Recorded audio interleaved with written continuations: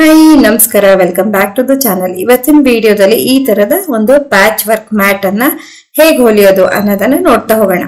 ಇದಕ್ಕೆ ನಾನಿಲ್ಲಿ ಒಂದಷ್ಟು ಐಟಮ್ಸ್ ಅನ್ನ ರೆಡಿ ಇಟ್ಕೊಂಡಿದ್ದೀನಿ. ಸೊ ಒಂದಷ್ಟು ಪ್ರಿಂಟೆಡ್ ಫ್ಯಾಬ್ರಿಕ್ ಹಾಗೆ ಒಂದಷ್ಟು ಪ್ಲೇನ್ ಫ್ಯಾಬ್ರಿಕ್ ಅನ್ನ ತಗೊಂಡಿದ್ದೀನಿ. ನೋಡಿ, ಇಲ್ಲಿ ಕಾಣಿಸ್ತಿದೆಯಲ್ಲ? ಸೊ ಇದ್ರ ಅಳತೆ ಬಂದ್ಬಿಟ್ಟು ಐದು ಇಂಚ್ ಅಗಲ ಇದೆ, ಹಾಗೆ ಐದು ಇಂಚು ಉದ್ದ ಇದೆ. ಇದೇ ಅಳತೆಯಲ್ಲಿ ನಾನು ಪ್ರಿಂಟೆಡ್ ಬಟ್ಟೆಯನ್ನು ಕೂಡ ಕಟ್ ಮಾಡಿ ಇಟ್ಕೊಂಡಿದ್ದೀನಿ. ಇದು ಐದೈದು ಪೀಸಸ್ ಇದೆ, ಎರಡು ಕೂಡ. ಹಾಗೆ ಒಂದಷ್ಟು ಪೈಪಿಂಗ್ಗೋಸ್ಕರ ಬಟ್ಟೆಯನ್ನು ಕಟ್ ಮಾಡಿ ಇಟ್ಕೊಂಡಿದ್ದೀನಿ ಸ್ಟ್ರಿಪ್ಸ್ ತರ. ಸೊ ಇದು ಒಂದೂವರೆ ಇಂಚ ಅಗಲ ಇದೆ. ಸೊ ಇದಿಷ್ಟು ನಮಗೆ ಬೇಕಾಗಿರೋದು. ಹಾಗೆ ಬೇಸ್ಗೆ ಒಂದು ಓಲ್ಡ್ ಜೀನ್ಸಿನ ಬಟ್ಟೆಯನ್ನು ಕಟ್ ಮಾಡಿ ಇಟ್ಕೊಂಡಿದ್ದೀನಿ ನೋಡಿ, ಈ ತರ ಕಾಣಿಸ್ತಾ ಇದೆಯಲ್ಲ? ಸೊ ನಾನಿಲ್ಲಿ ಬೇಸ್ಗೆ ಬೇರೆ ಯಾವುದೇ ಬಟ್ಟೆಯನ್ನು ಬಳಸ್ತಾ ಇಲ್ಲ. ಕೇವಲ ಜೀನ್ಸ್ ಬಟ್ಟೆಯನ್ನು ಮಾತ್ರ ಇಲ್ಲಿ ಬಳಸ್ತಿರೋದು. ಸೊ ಈಗ ಏನ್ ಮಾಡ್ಬೇಕು? ಇವಾಗ ಪ್ಯಾಚ್ ವರ್ಕ್ ಮಾಡೋದಕ್ಕೆ ಸ್ಟಾರ್ಟ್ ಮಾಡೋಣ. ನಾನು ಮೊದಲಿಗೆ ಒಂದು ಪ್ಲೇನ್ ಬಟ್ಟೆಯನ್ನ ತಗೊಂಡಿದ್ದೀನಿ, ಹಾಗೆ ಪ್ರಿಂಟೆಡ್ ಫ್ಯಾಬ್ರಿಕ್ ಅನ್ನ ತಗೊಂಡಿದ್ದೀನಿ. ಸೊ ಎರಡು ಒಳಮುಖ ಮಾಡಿ ಹೀಗೆ ಇಡ್ತಾ, ನೋಡಿ ಈ ತರ ಜಾಯಿಂಟ್ ಮಾಡಿ ಇಡಬೇಕು. ಇಟ್ಬಿಟ್ಟು ನಾಲ್ಕು ಕಡೆಗೂ ನಾನು ಹೊಲಿಗೆಯನ್ನ ಹಾಕೊಳ್ತೀನಿ.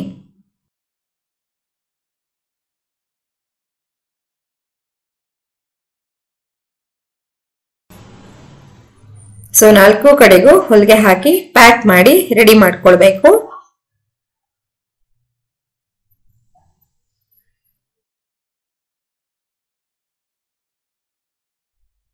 ಸೊ ಈ ರೀತಿಯಾಗಿ ನಾಲ್ಕು ಕಡೆಗೂ ನಾನು ಸ್ಟಿಚ್ ಹಾಕೊಂಡು ಇದನ್ನ ರೆಡಿ ಮಾಡ್ಕೊಂಡೆ.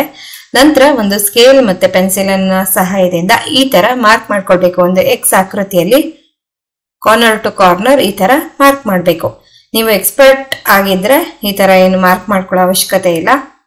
ಬಟ್ ಬಿಗಿನರ್ಸ್ ಆಗಿದ್ರೆ ಖಂಡಿತ ಈ ತರ ಮಾಡೋದ್ರಿಂದ ತುಂಬಾನೇ ಹೆಲ್ಪ್ ಆಗುತ್ತೆ. ಈಗ ಕರೆಕ್ಟಾಗಿ ಈ ತರ ಹಿಡಿತಾ ಒಂದು ಸಣ್ಣ ಹೋಲನ್ನು ಮಾಡ್ಕೊಳ್ಬೇಕು. ಇದನ್ನ ಮಾಡಬೇಕಾದ್ರೆ ನಾವು ಪ್ರಿಂಟೆಡ್ ಫ್ಯಾಬ್ರಿಕ್ ಅನ್ನ ಏನು ಡ್ಯಾಮೇಜ್ ಮಾಡದೇ ಇರೋ ರೀತಿಯಲ್ಲಿ ಕಟ್ ಮಾಡ್ಕೊಳ್ಬೇಕಾಗತ್ತೆ. ಸೊ ಕಟ್ ಮಾಡಿದ ನಂತರ ಈ ತರ ನಾಲ್ಕು ಕಡೆಗೂ ಕಟ್ ಮಾಡಿ ಇದನ್ನ ಓಪನ್ ಮಾಡಬೇಕು. ಸೊ ಇದರ ಮೂಲೆ ಇನ್ನು ಕ್ಲಿಯರ್ ಆಗಿ ಕ್ಲೀನ್ ಆಗಿ ಕಟ್ ಆಗಬೇಕು ಅಂತಂದ್ರೆ ಈ ತರದ ಇನ್ನೊಂದು ಕತ್ತರಿ ಇರುತ್ತಲ್ಲ ಥ್ರೆಡ್ ಥ್ರೆಡ್ಗೋಸ್ಕರ ಕೊಟ್ಟಿರೋದು. ಅದನ್ನ ಬಳಸಿ ನೀವು ಹೀಗೆ ಕಟ್ ಮಾಡ್ಬೋದು. ಇವಾಗ ಇನ್ನೂ ನೀಟಾಗಿ ಚೆನ್ನಾಗಿ ಕಾರ್ನರ್ಸ್ ಎಲ್ಲ ಓಪನ್ ಆಗುತ್ತೆ.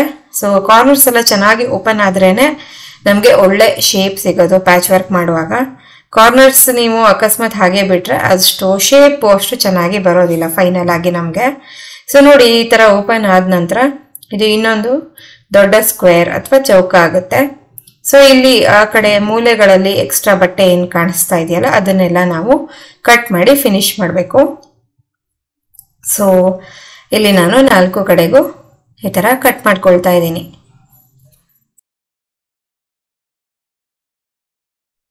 ಸೊ ಇದೇ ರೀತಿಯಲ್ಲಿ ನಾನು ಉಳಿದಿರುವ ಅಷ್ಟು ಪೀಸ್ ಅನ್ನ ರೆಡಿ ಮಾಡ್ಕೊಳ್ತೀನಿ. ಇಲ್ಲಿ ನಾನು ಟೋಟಲ್ ಆರ್ ಪೀಸ್ ಅನ್ನ ರೆಡಿ ಮಾಡ್ಕೊಂಡಿದ್ದೀನಿ.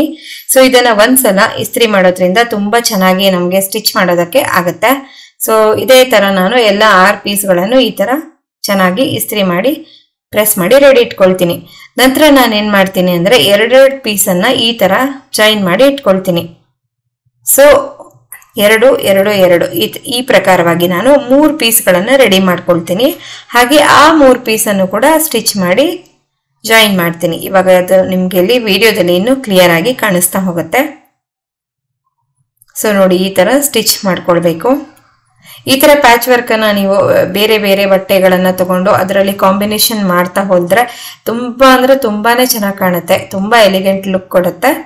ಸೊ ಟ್ರೈ ಮಾಡಿ ನೋಡಿ, ನಿಮ್ಮ ಹತ್ರ ಇರುವ ಯಾವುದೇ ಒಂದು ಹಳೆ ಬಟ್ಟೆಯಲ್ಲಿ ಕೂಡ ಇದನ್ನ ಮಾಡ್ಬೋದು. ಹೊಸ ಬಟ್ಟೆಗಳೇ ಬೇಕಂತ ಏನೂ ಇಲ್ಲ. ಸೊ ಆಸ್ ಬಿಗಿನರ್ಸ್ ನೀವು ಟ್ರೈ ಮಾಡೋದಾದ್ರೆ ಆದಷ್ಟು ಮನೆಯಲ್ಲಿರುವಂಥ ಬಟ್ಟೆಗಳಿಂದನೇ ಟ್ರೈ ಮಾಡೋದು ಒಳ್ಳೆಯದು ಸೊ ನಾನು ಹೇಳಿದಂತೆ ಇಲ್ಲಿ ಮೂರು ಪೀಸ್ಗಳು ರೆಡಿ ಆಯಿತು. ನೋಡಿ, ಈ ತರ ಕಾಣಿಸ್ತಾ ಇದೆ. ಈಗ ಇವುಗಳನ್ನು ಮತ್ತೆ ಲೆಂತ್ ವೈಸ್ ಜಾಯಿನ್ ಮಾಡಬೇಕು. ಅದಕ್ಕಿಂತ ಮುಂಚೆ ನಾನು ಏನು ಮಾಡ್ತೀನಿ, ಇದು ಒಂದು ಬೇಸ್ ಆಗಿ ಒಂದು ಜೀನ್ಸ್ ಬಟ್ಟೆಯನ್ನು ತಗೊಂಡಿದ್ನಲ್ಲ, ಅದರ ಮೇಲೆ ಹೇಗೆ ಇಡ್ತಾ ಡೈರೆಕ್ಟ್ ಆಗಿ ನಾನು ಜಾಯಿನ್ ಮಾಡ್ತಾ ಹೋಗ್ತೀನಿ. ಸೊ ದಟ್ ನಮಗೆ ಎರಡೆರಡು ಸಲ ಜಾಯಿನ್ ಮಾಡೋ ಕೆಲಸ ಇರೋದಿಲ್ಲ. ನೋಡಿ, ಈ ಥರ ಇಟ್ಬಿಟ್ಟು ಫಸ್ಟ್ಗೆ ನಾನು ಈ ಕಡೆಯಿಂದ ಎಂಡ್ವರೆಗೆ ಒಂದು ಸ್ಟಿಚ್ ಅನ್ನು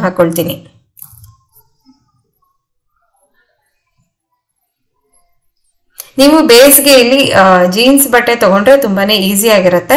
ಇಲ್ಲದೆ ಇದ್ರೆ ನಿಮ್ಮ ಹತ್ರ ಇನ್ಯಾವುದೇ ಸ್ವಲ್ಪ ತಿಕ್ ಇರುವಂತ ಬಟ್ಟೆ ತಗೊಳ್ಬಹುದು ಅಥವಾ ತೆಳ್ಳಗಿರೋ ಬಟ್ಟೆಗಳಾದ್ರೆ ಎರಡು ಲೇಯರ್ ಅಥವಾ ಮೂರು ಲೇಯರ್ ಅಲ್ಲಿ ಬೇಕಾದ್ರೂ ತಗೊಳ್ಬಹುದು ಸೊ ಈಗ ನಾನು ಇನ್ನೊಂದು ಲೇಯರ್ ಬಟ್ಟೆಯನ್ನ ಇದ್ರ ಮೇಲೆ ಮಗ್ಚಿ ಇಡ್ತಾ ಸೊ ಉಲ್ಟಾ ಮುಖ ಮಾಡಿ ಈ ಥರ ಇಡ್ತಾ, ಮತ್ತೆ ಮೇಲಿಂದ ಕೆಳಗೊರೆಗೆ ಸ್ಟಿಚ್ ಹಾಕಬೇಕು.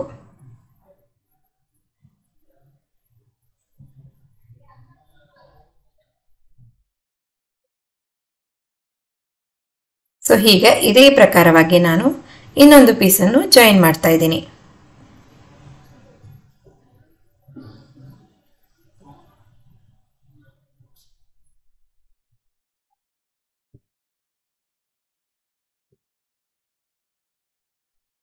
ಈಗ ಕೊನೆಯದಾಗಿ ಅದರ ತುದಿಯನ್ನು ಬೇಸಿಗೆ ಇನ್ನೊಮ್ಮೆ ಈ ಥರ ಹೊಲಿಬೇಕು. ಇಲ್ಲಿ ಬೇಸಲ್ಲಿ ಬರುವಂಥ ಎಕ್ಸ್ಟ್ರಾ ಬಟ್ಟೆಯನ್ನು ಕಟ್ ಮಾಡ್ತೀನಿ. ಹಾಗೆ ಮಧ್ಯದಲ್ಲಿ ಒಂದು ಸ್ಟಿಚ್ ಮೇಲೆ ಕೆಳಗೆ ಒಂದೊಂದು ಸ್ಟಿಚ್ಚನ್ನು ಹಾಕ್ತೀನಿ.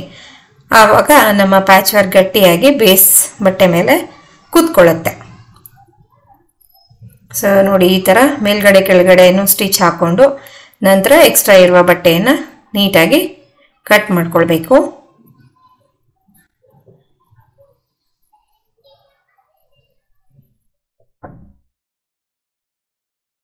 ಈಗ ನಮ್ಮ ಮ್ಯಾಟಿನ ಆಲ್ಮೋಸ್ಟ್ ಒಂದು ಎಪ್ಪತ್ತೈದು ಪರ್ಸೆಂಟ್ ಫಿನಿಶ್ ಆಯಿತು.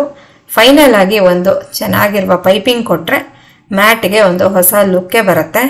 ಸೊ ನಾನಿಲ್ಲಿ ಒಂದು ಕಾಂಟ್ರಾಸ್ಟ್ ಬಣ್ಣದ ಬಟ್ಟೆಯನ್ನು ತೊಗೊಂಡಿದ್ದೀನಿ. ಇದು ಒಂದೂವರೆ ಇಂಚ್ ಆಗೋಷ್ಟು ಅಗಲ ಇದೆ. ಇನ್ನೊಂದು ಸ್ವಲ್ಪ ಅಗಲದ್ದು ಬೇಕಾದರೂ ತೊಗೊಳ್ಬೋದು. ಸೊ ಅದನ್ನು ಪೈಪಿಂಗ್ ಕೊಡ್ತಾ ಇದ್ದೀನಿ ನಾಲ್ಕು ಕಡೆಗೂ. ನಾಲ್ಕು ಕಡೆಗೂ ಕಡೆಗೂ ಪೈಪಿಂಗ್ ಕೊಟ್ಟು ಫಿನಿಶ್ ಮಾಡಿದ್ರೆ ಆಗೋಯಿತು. ಸುಂದರವಾದ patch work mat ready to use so ಇದನ್ನು ನೀವು ಡೋರ್ ಮ್ಯಾಟ್ ಆಗಿ ಕೂಡ ಬಳಸ್ಬೋದು ಸೋಫಾ ಮ್ಯಾಟ್ ಆಗಿ ಕೂಡ ಬಳಸ್ಬೋದು, ಅಥವಾ ಇನ್ನು ಯಾವುದೇ ರೀತಿಯಾಗಿ ನಿಮಗೆ ಇಷ್ಟ ಬಂದ ಹಾಗೆ ಇದನ್ನು ಬಳಸ್ಬೋದು.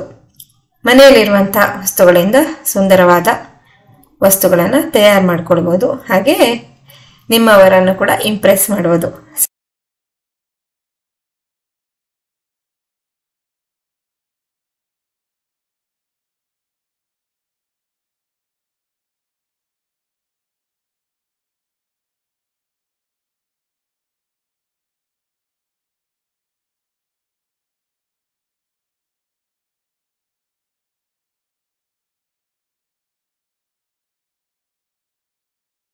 ಸೊ ಇವತ್ತಿನ ವಿಡಿಯೋ ನಿಮಗೆಲ್ಲ ಇಷ್ಟ ಆಗುತ್ತೆ ಅಂತ ನಾನು ಭಾವಿಸ್ತೀನಿ.